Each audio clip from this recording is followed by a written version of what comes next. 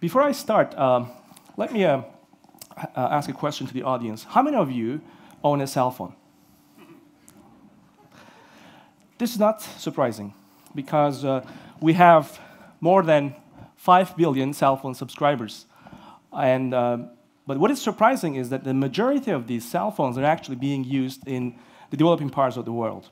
And if you add this connectivity, the fact that our cell phones are significantly better in terms of their hardware and software capabilities, this existing infrastructure indeed holds numerous opportunities for conducting um, basic medical tests and diagnostic tests. So let me ask another question then.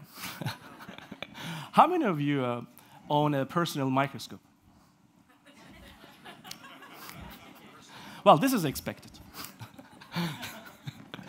well, today I'm going to be talking about how we can actually use our cell phones to conduct microscopy and microanalysis, and how we can use these, uh, um, these platforms that we have more than 5 billion in the world being subscribed to a network, as you can see in this world map, how we can use this infrastructure, this connectivity, and the hardware and the software of these gadgets to do something very useful, especially for global health challenges, for uh, for instance, looking for uh, infectious diseases, diagnosing infectious diseases.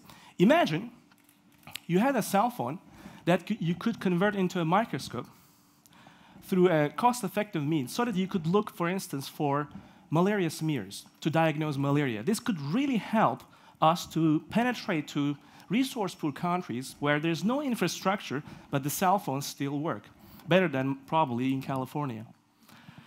The same you could do, for instance, for spotting bacteria and pathogens using these attachments to the cell phone. So indeed, there are numerous opportunities that we can utilize cell phones to conduct microscopic analysis uh, and bring more advanced diagnostic tools to remote locations, to remote countries.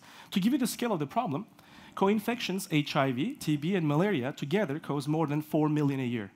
If you add to this number issues related to poor drinking water, we're losing more than 6 million. So using the cell phone as the backbone, we can do a lot. And that was the vision of our research lab. And we have created actually cost-effective attachments that could literally convert existing cell phones into advanced micros microscopes and microanalysis tools. What you see on the slide are some of our gadgets that we play around. My students uh, literally play with blood or other bodily fluids with these things.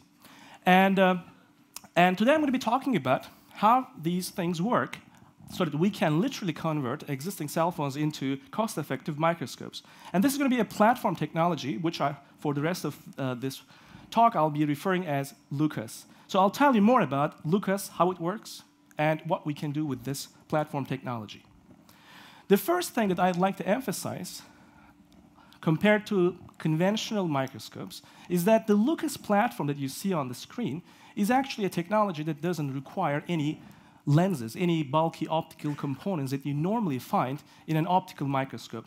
If you take, for instance, uh, a high-end digital camera, the most expensive part of that camera is probably the lens. That's what makes it bulky, capture good images, and, uh, of course, be uh, uh extremely expensive. So the Lucas platform does not utilize any of these lenses, and you can think actually conventional digital cameras or digital microscopes, something like this, where the typewriter is functioning like a keyboard. It's semi-digital in the sense that there is some component analog and some component digital. But in Lucas platform, everything is digital in the sense that there's no lens and computation. Computer algorithms are making up for the lack of complexity to make a very decent microscopic image. And because it's lens-free, it has some very important features, especially important for global health. Being lens-free gives us cost-effectiveness, compactness, as you can see, and lightweight. These microscopes, literally, that are attached to the cell phone are on the order of 40 to 50 grams without, without much actually cost. So then the question becomes, if I'm not using any lenses, how can I see microscale features within a specimen at the level where we're looking at less than one millionth of a meter in terms of scale? The Lucas platform is actually imaging the shadows of specimen. Quite different than our own shadows, which is pitch dark as you can see in a sunny day. Cells at the micron scale cast unique textured shadows. So you can think of the shadow of a cell like a fingerprint which contains these textures. And those are the starting point for the Lucas platform to get quite advanced with what it can do. You're looking at now a slide of blood where most of these things are shadows of the red blood cells. That's what our blood is mostly composed of. But if you look closely, you would be seeing other cell types, like white blood cells, that cast uniquely different fingerprint-like shadows from which we can understand what's going on within a heterogeneous solution, like, for instance, blood or urine. But the situation gets a little bit more complicated. As the density of the cells gets higher and higher, that's what you're seeing here.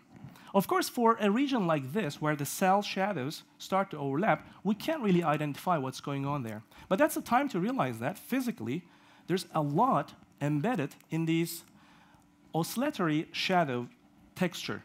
So we can treat them as actually holograms, digital holograms, using computer algorithms, take something like this and very quickly reconstruct the images using computer algorithms as if you had a physical lens there.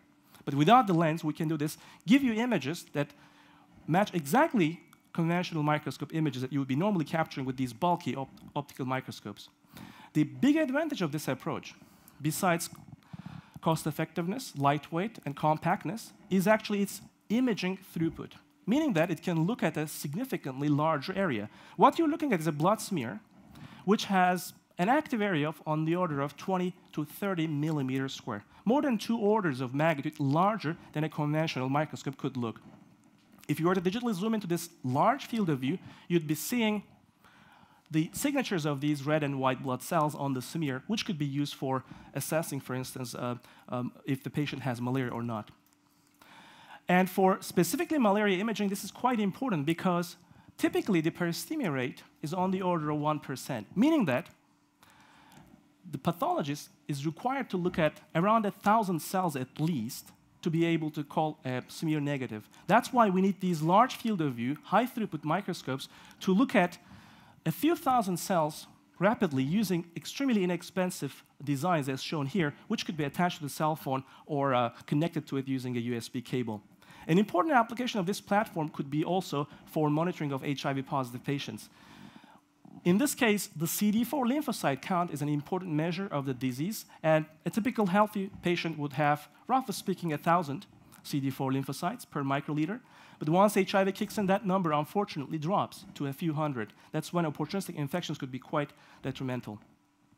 The gold standard for such a test is flow cytometry. It's a quite expensive and uh, powerful technology, but even per test, it would cost five to ten dollars, which would be unaffordable for uh, most of these villagers in, in, remote locations. So what we've done is we've combined the lens-free computational microscopy with spatial microfluidic devices that could specifically capture these CD4 lymphocytes or other lymphocyte types so that in whole blood, if you inject, you'll be capturing just the target cells of interest, which are then imaged with these handheld field portable microscopes. And this way, you can actually look at slides like this, where each one of these spots is coming from a specific cell type, in this case CD4 lymphocytes or CD8 lymphocytes, and then counted to understand uh, what is the uh, immunity of the patient in terms of, uh, uh, in terms of therapy. Uh, for instance, in this case, the ratio of the CD4 to CD8 was a measure which was quite low for an HIV-infected patient. And recently, we've also introduced fluorescent microscopes on the cell phone. Whatever I've shown you so far were bright field transmission microscopy. But there are ways of actually converting a cell phone in a very cost-effective and lightweight manner, as shown here, into a fluorescent microscope or a fluorescent flow cytometer. This way, using a very cost-effective attachment, you can look at very large areas. This is whole blood, and if you zoom in, you would be seeing white blood cells. And these are some Giardia waterborne parasites imaged with this uh, fluorescent microscope. Instead of capturing a static image, you, could, you can also look at a dynamic uh, event where, in this case, we're flushing whole blood within a microfluidic device. And this is a captured movie by this cell phone, which is being analyzed to count these white blood cells. In the end, it gives a nice match to a Coulter counter or a hematology analyzer in terms of the density of these cells. So we believe that the Lucas platform holds significant promise to bring in cost-effective, compact, and lightweight microscopes which perform much better than their lens-based conventional analog counterparts in terms of performance, in terms of throughput. And you can think of this step as the creation of the PC so that you can start to think about being cost effective and small, you can start to think about connecting them together to create something bigger than just a single PC. Imagine that we have increased for the next decade or so the amount of microscopes by two orders of magnitude or three orders of magnitude, and they're all digitally connected to each other. What we can do with such a platform, what, what I call a micro-internet, would really open up new avenues, new things that we haven't yet considered. Thank you.